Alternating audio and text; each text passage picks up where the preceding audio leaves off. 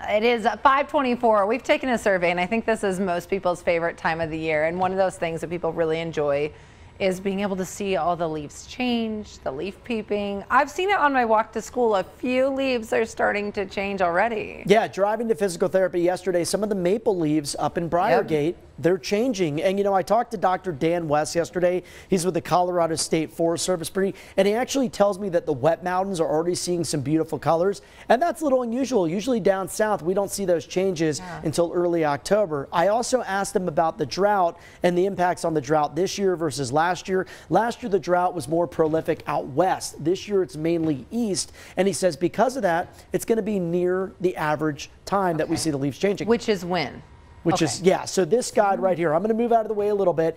When we look at the northern fifth of the state, we typically see the peak fall colors. So they're changing now, yes, but the peak is going to be around mid to late September. The farther south you go towards the popular I-70 corridor, usually the end of the month. And then as we look here in southern Colorado, usually late September to early October. And the farther south you go, the later, of course, oh, yeah. you'll see those changes. Now, let's talk about some of our favorite places to check out. So many good ones oh I want to ask you. Okay, now I have two.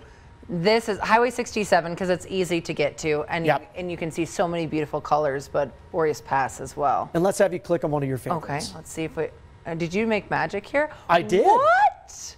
How beautiful is that? the magic of television. How do I go folks. back? I think we just click the picture. Okay, I want to show one go. more of. Yeah. There we go. And this one, oh, a popular one. So this one's popular. really close by. You take uh, Highway 24 to Divide. Now, of course, if you do this on the weekend, it's going to be jam packed. I know. So either go early or go on the weekdays Let's if possible. Yours. You know, one I haven't done, I got to say, 67 is one of my favorites. The Wilkerson Pass is good. I've never done Maroon Bells. What about Guanella? Let's, Let's see what it, I just want to see what they all look like. Oh, that's beautiful. Yeah, that's pretty. Let's do one more. Let's do uh, Independence Pass. I feel like that I'm in a class right now.